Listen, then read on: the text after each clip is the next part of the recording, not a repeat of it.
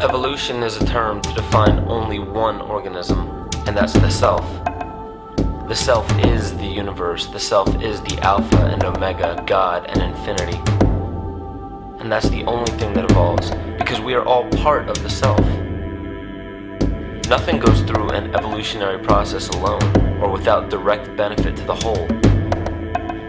So when you begin to think that there's this controlling elite, this controlling hand behind the curtains leading the planet to destruction, when you think the end is near, the apocalypse, Armageddon, and when you think we as a species are doomed, it is not they, it is you that brought this about.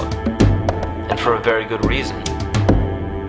You are evolving. Stop blaming everybody and everything else.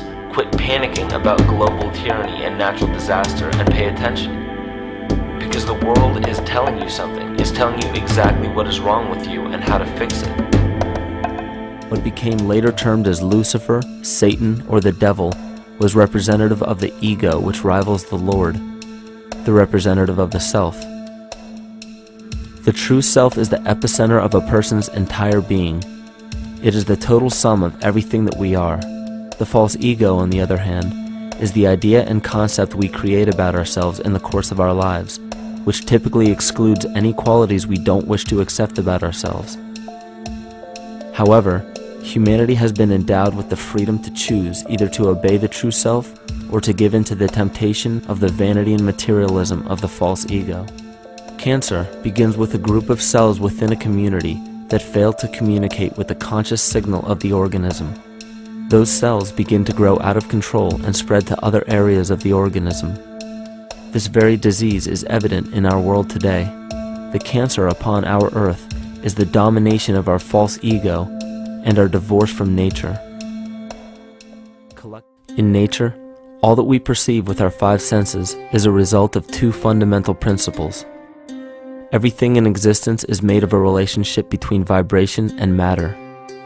Vibration is a masculine creative force countered by matter, which is a feminine receptive force. Thus begins the principle of duality.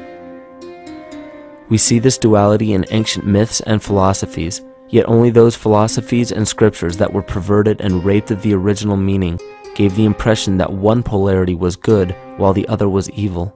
The original sages, adepts, and shamans taught that both are necessary and one would not exist without the other. And the problem I see with humanity today is we don't truly know ourselves anymore. We have the 9 to 5 job, we have the house, the children, the bills, the television, the hobbies, and the errands that we run every single day, and we eventually begin to believe that this is who we are.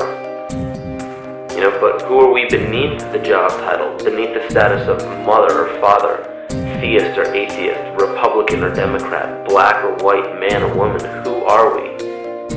Who are we deep down inside? We don't know because every time we hear an answer that we don't want to accept about ourselves, we deny it we'll pass it off and project it onto somebody else and judge them for it. This is repression. And we see what repression can do to us on an individual level, but what about on a collective level of humanity? What happens when the whole world refuses to see what they truly are on the inside?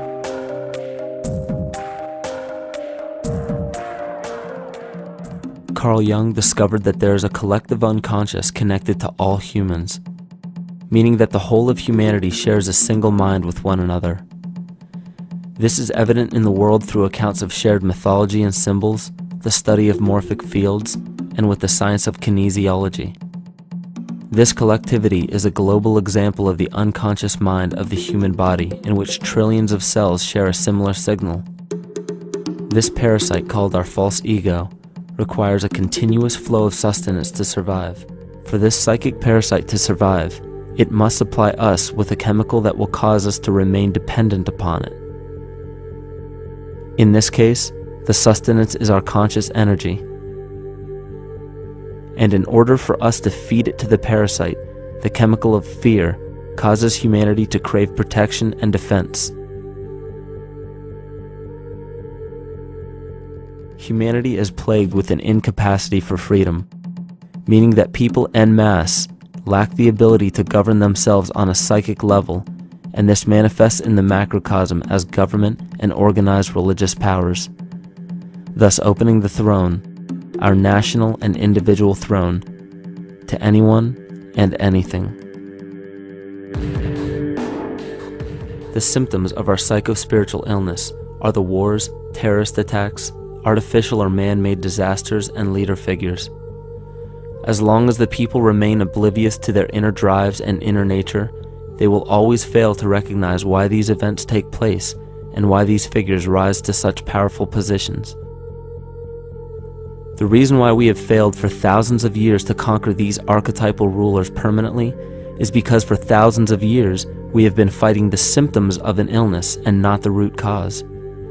For every corrupt government that falls at the hands of a revolutionary, oppressed people, two more will rise in its place every time because the root cause of a corrupt government does not exist in the individual leading that government. It exists within the psyche of every individual. Because an unaware host to a deadly parasite will do anything to avoid accepting his own incapacity for freedom.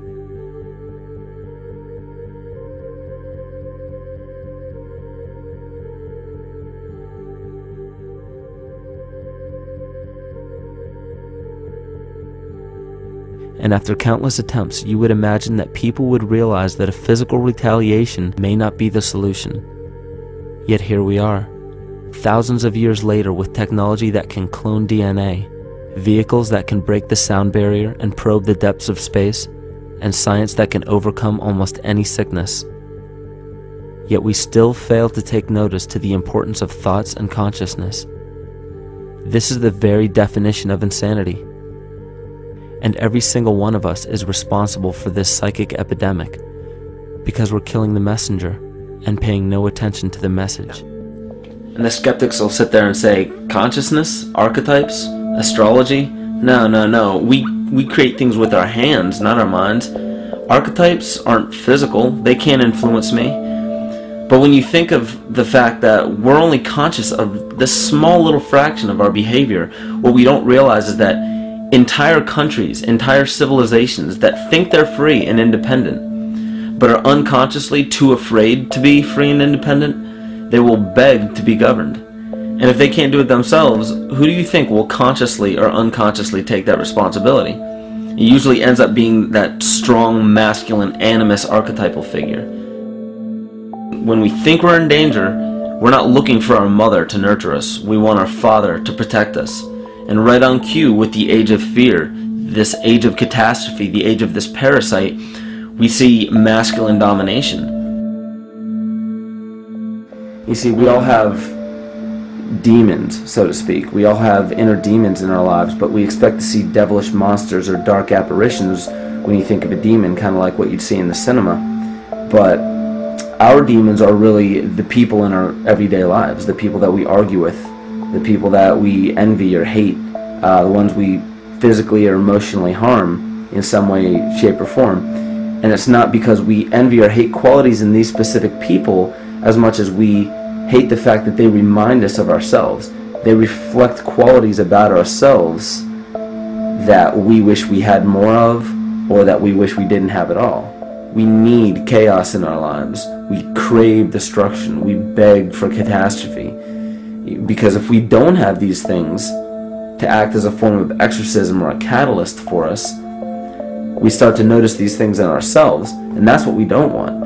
You see, we can deal with wars, we can deal with terrorism, we can deal with stock market collapse and economic collapse. We can deal with these things. But once we start to notice this chaos within ourselves, that's what we're really afraid of. We'll take a million September 11ths over one moment of true insight towards our self hate. Evolution does not come about gradually. It happens in spurts and fits, and comes about due to a tremendous need for the organism to survive. We are now at a point in history where we will choose. We will choose to become sovereign or remain dependent, to face our true self or continue fighting a ghost, to become well or allow this disease to grow, to live or to die. The choice is yours.